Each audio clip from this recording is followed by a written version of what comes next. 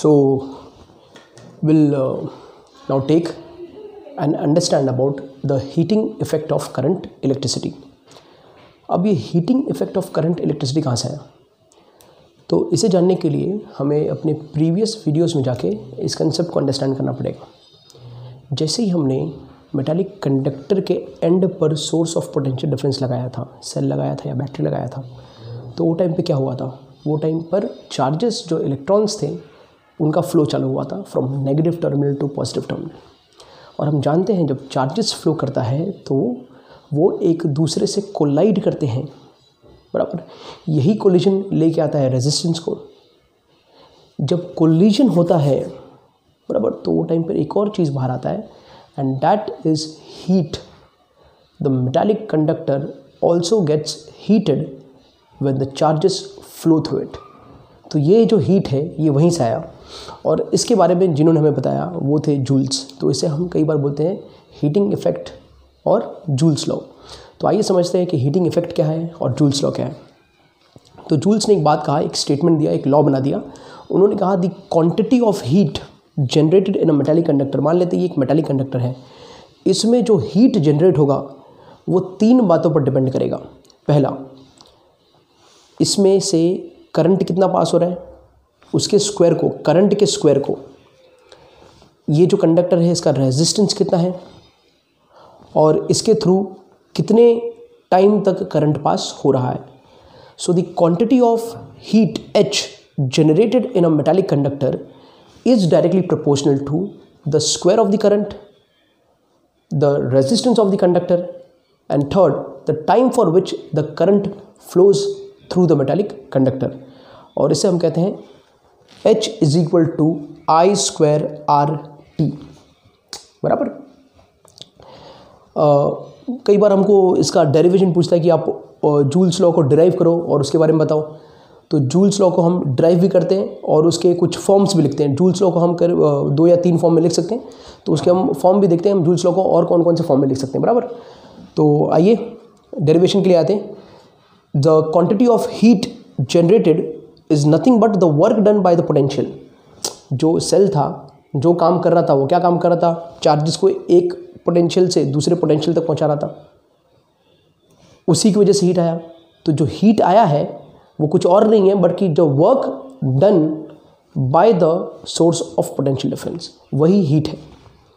बराबर तो जाके पोटेंशियल डिफरेंस को रिकॉल करते हैं। तो we know that we know that potential difference जो होता है, वो होता है वर्क डन अपॉन चार्ज बराबर है कि नहीं?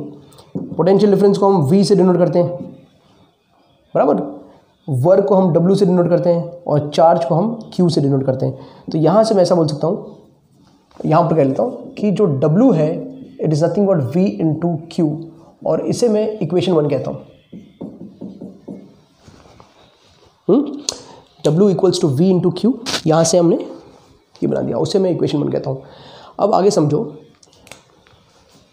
Uh, क्या बह रहा है? मेटेलिक कंडक्टर से चार्जेस बह रहे हैं। चार्जेस बहेगा तो करंट आएगा। करंट आएगा और सोर्स ऑफ़ पोटेंशियल डिफरेंस भी है। तो इस सर्किट में मैं ओम्स लॉ को अप्लाई कर सकता हूँ। तो यूजिंग ओम्स लॉ बराबर? एंड करंट डेफिनेशन अगर मैं ओम्स लॉ को और करंट के डेफिनेशन को यूज़ करता हूँ तो मुझे क्या मिलेगा? V जो है मेरा, V है अयर जहाँ पर आई उस सर्किट में क्या करंट बह रहा है? और आर उसी सर्किट का रेजिस्टेंस अच्छा I is equal to Q upon T है तो उस हिसाब से क्यू क्या हो जाएगा? आई टी क्यू क्या हो जाएगा? आई टी तो using them V is equal to IR and Q equals to I T अगर मैं ये दोनों बातों को यूज़ करता हूँ तो क्या लिखेंगे? Substituting equation two in equation one तो इक्वेशन वन पहले क्या है वो लिख देते तो W is equal to V into Q यही है equation one therefore W is equal to V का वैल्यू क्या है? अयर तो अयर क्यू का वैल्यू क्या है? आई टी तो आई टी तो डब्ल्यू क्या हो गया? आई स्क्वायर आर टी रहेगा सुन and this work done is nothing but it's get converted into heat तो ये जो वर्क डन है, इसको मैं हीट से रिप्लेस कर सकता हूँ। Therefore, H equals to I square RT this is nothing but Joule's law ये हमारा जूल्स लॉ है। जिसके बारे में हम बात कर रहे थे। अब ये जूल्स लॉ को हम और दो तरीके से लिख सकते हैं यूजिंग ओम्स लॉ तो बेटा V क्या होता है? अयर होता है ना? तो V अयर है तो I क्या होगा?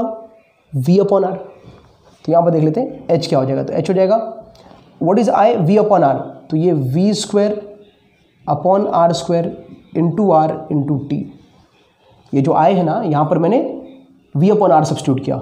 एक आर एक आर कैंसिल हो गया तो एच क्या हो गया? V square T upon R तो ये फॉर्मेट से भी आप जूल्स लॉ को लिख सकते हो यूजिंग ओम्स लॉ अगेन आप ओम्स लॉ यूज़ कर लो। V is equal to IR यहाँ भी होते हैं। तो यहाँ पर आर को रिप्लेस करते आर क्या हो जाएगा? वी अपॉन आई तो ये आई स्क्वायर आई स्क्वायर रहेगा। यहाँ पर ले लेता हूँ। H is equal to I square as it is रहेगा। जो मेरा आर है आर क्या है? वी अपॉन आई तो ये V upon I into T T रहेगा। आई आई कैंसिल हो गया। जब एच क्या हो गया? वी आई टी तो ये सेकेंड फॉर्म है जूल्स लॉ लिखने का। तो Joule's law can be written ये भी जूल्स लॉ है, ये भी जूल्स लॉ है, और ये भी जूल्स लॉ है। तो एग्ज़ाम में कई बार आता है कि भाई आप जूल्स लॉ डिफ़ाइन करो स्टेटमेंट डिफ़ाइन करो, और उसके फॉर्म्स तीन जो फॉर्म है, वो फॉर्म में जूल्स लॉ को रिप्रेजेंट करो। आए बात समझ में?